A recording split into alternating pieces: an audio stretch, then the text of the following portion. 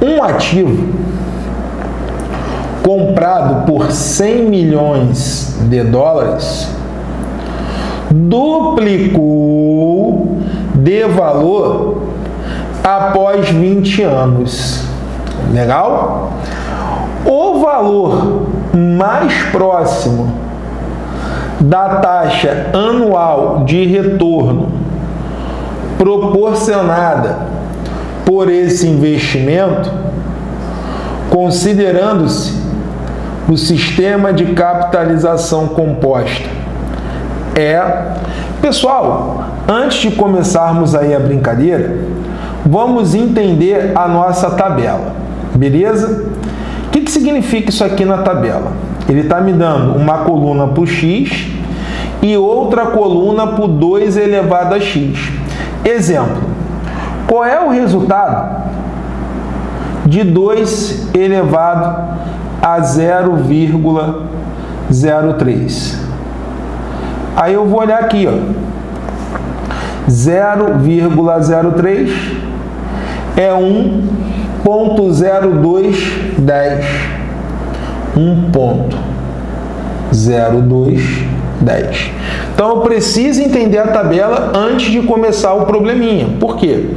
Com certeza em algum momento da questão vamos utilizar uma dessas informações.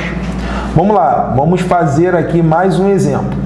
A primeira coluna é do x e a segunda coluna é do 2 elevado a x, beleza? Então vamos lá, vamos supor agora que o x seja igual a 0,04. Como é que vai ficar ali a potência? Vai ficar 2 elevado zero trauma, gotinhas do saber. A gente só está trocando uma ideia.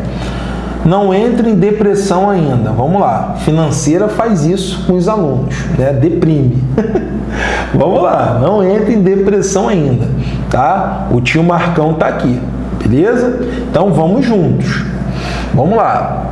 Então, o x vale 0.04. Então, 2 elevado a 0.04 vai dar qual resultado? Está aqui, ó, 1.04. 1.0281 e assim por diante, beleza? Então treinamos ali a tabelinha. Agora sim vamos para a questão. Deixa eu sair dali, que eu estou em cima da questão e depois eu volto. Vamos lá, pessoal. Juros compostos, não é isso? Ó, sistema de capitalização composta. Então, se o sistema é de capitalização composta, qual é a formulazinha? Montante, ó, formulazinha dos juros compostos. Montante é igual ao capital vezes o fator elevado ao tempo. Legal? Então, montante é igual ao capital vezes o fator elevado ao tempo. Essa é a nossa formulazinha. Vamos lá. Qual é o contexto da questão? Ele fala o seguinte, ó, que tem um ativo, né, um ativo, perdão, comprado por 100 milhões, duplicou duplicou de valor após 20 anos. Então vamos lá, 100 milhões Vou colocar aqui. Seria o meu capital e 200 milhões seria o meu montante. Por quê? Ele está falando na questão que você aplicou né, 100 milhões e em 20 anos esses 100 milhões né, duplicaram. Ou seja, o 100 virou quanto? 200. Então você comprou por 100 e 20 anos depois duplicou. Passou para quanto? 200. Não é isso? Em 20 anos depois, passou para 200. E ele está querendo saber o valor da taxa. Legal? Esse é o cenário da nossa questão. Comprou por 200 e 20 anos depois duplicou. Ou seja, você aplicou 100 e resgatou quanto? 200. E ele está querendo saber o valor da taxa. Vamos lá. Aplicando a formulazinha do montante, ó. essa daqui, ó. Vamos lá, substituindo. Montante, quanto vale o montante? 200 é igual ao capital. Qual é o capital? 100 vezes o fator elevado ao tempo, ou seja, vai ficar f elevado a 20. Legal. Matemática básica agora. O 100 está multiplicando, vai passar para o outro lado dividindo. Então, ficaríamos com f elevado a 20 igual a 200 dividido por quanto? Por 100. Aí, vamos lá, simbora com a continha. Zero trauma, zero trauma, zero trauma. Quanto é que dá 200 dividido por 100? Vai dar 2. 200 dividido por 100 dá 2.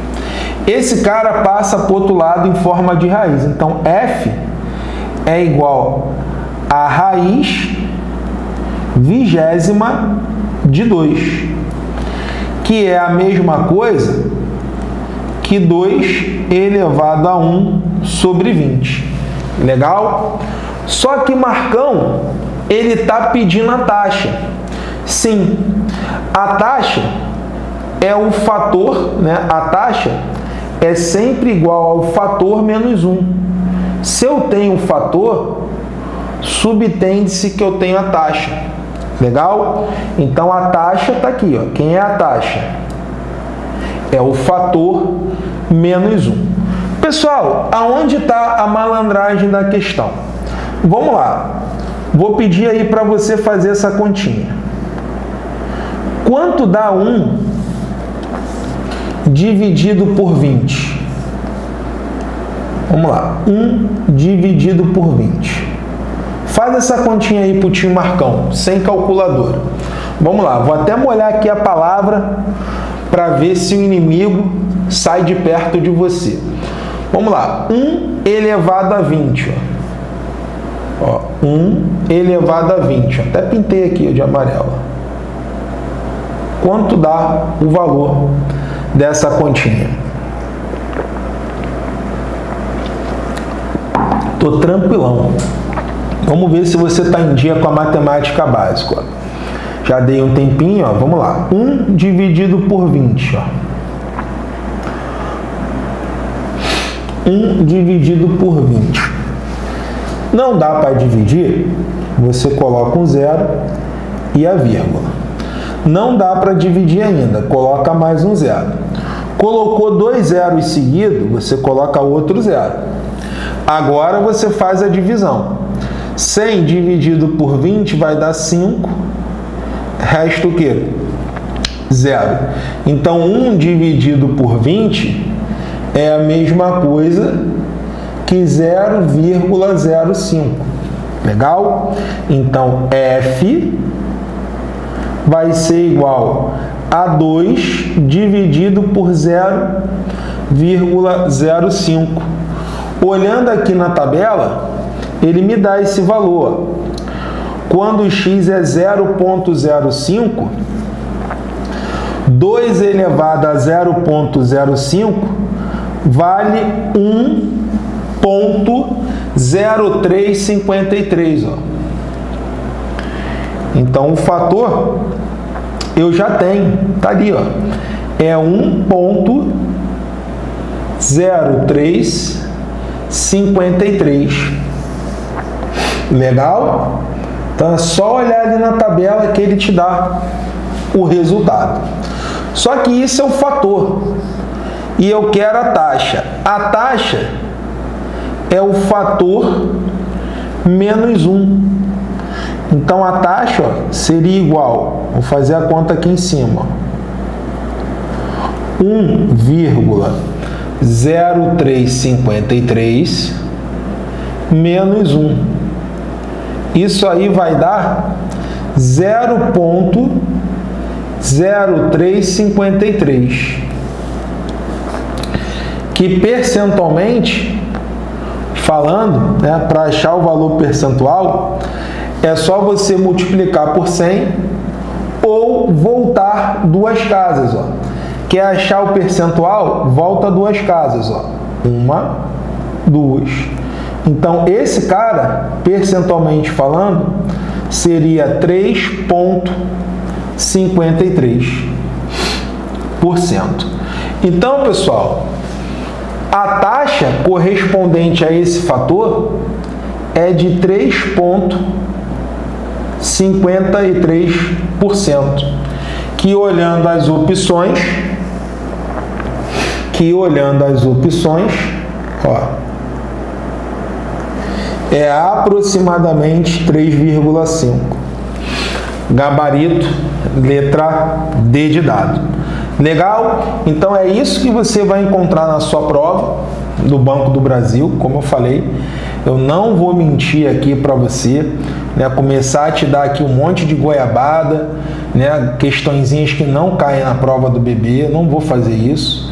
Eu vou falar sempre a verdade, por mais que o início seja complicado.